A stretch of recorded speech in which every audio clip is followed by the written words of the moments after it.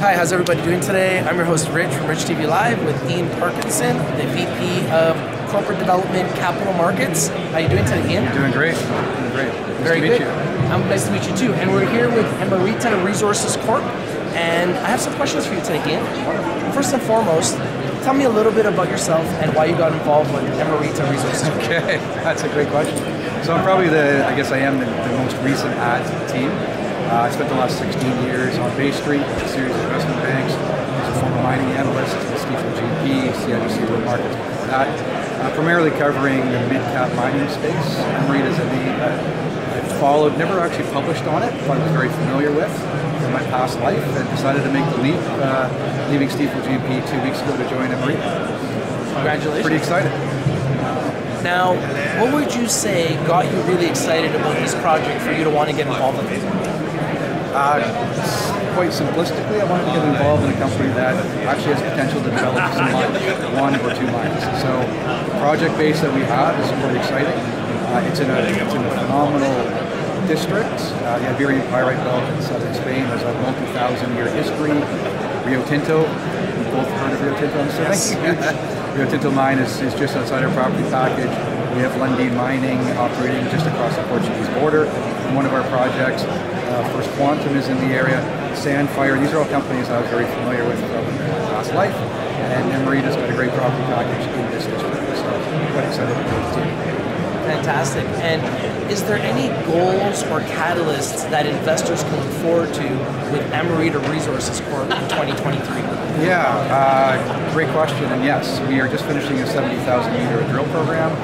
Uh, we should finish the physical part, the actual drilling, probably mid-February. Assays will trickle in over the next month or two. That's going to feed uh, our maiden resource calculation.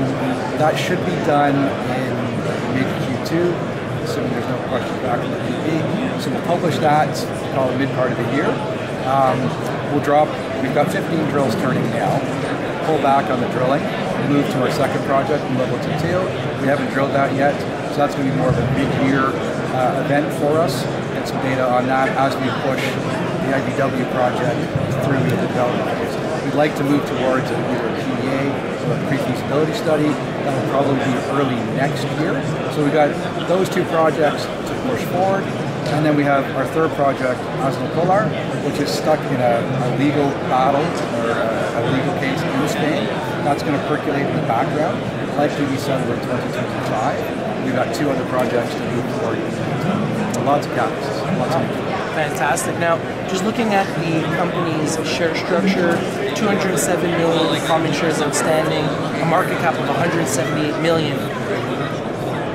Is the company right now well capitalized? Is the company going to be looking to do any funding in the future? We're, we are well capitalized for the work program we have right now. Okay. Course, I mean, we are in a capital uh, intensive industry. To advance these projects, we will need to raise additional capital. But right now, I'm comfortable with our cash balance. We can, all the catalysts I just mentioned, we have the cash to pay those bills. Fantastic. And we've got investors here, Rich TV Live, from all over the world that are looking for companies that are undervalued, underappreciated, and underexposed. What would you say to some of those investors that are looking at Emerita Resources Corp for the first time today? Um, well, I mean, if you look at our recent share price, uh, you know, we were north of four bucks once upon a time, traded back down to the 75, 80 cent range. Um, I'd love to retrace that uh, previous share performance. But what what I think is important here is our projects are in well-established mining districts. This is not a science experiment. There are miners all over this district. It's also a very, very safe jurisdiction. You know, we've seen political risk creep up parts of Latin America, South America, etc. It's part of southern Spain. Very, very safe environment, business environment, mining friendly. It's got all the contractors that we need, qualified employees. This is more than these issues are, are, are often ignored or, or misunderstood by a lot of investors. We've got all the tools that need to Fantastic. And if there was one thing that you would want an investor that's looking at Emerita, Emerita Resources Corp for the first time today to know about this project, what would it be? Um, well, we've got a historic resource, so these areas, these projects have been worked in the past. we're not reinventing the wheel.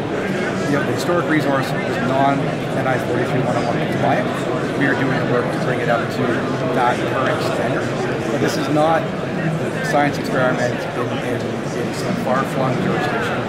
It's a mining-friendly jurisdiction. We're, we're just walking and talking like this. This is not a massive science experiment. Fantastic. And for anyone that's watching that's interested in Emerita Resources Corp that would like to get in contact with you or get in contact with the company, what's the best way for them to reach you? Uh, reach us through the website. Um, I think I believe it's info at emeritaresources.com. Um, yeah, or social media. We've got social media presence on Twitter. Um, conventional conventional methods.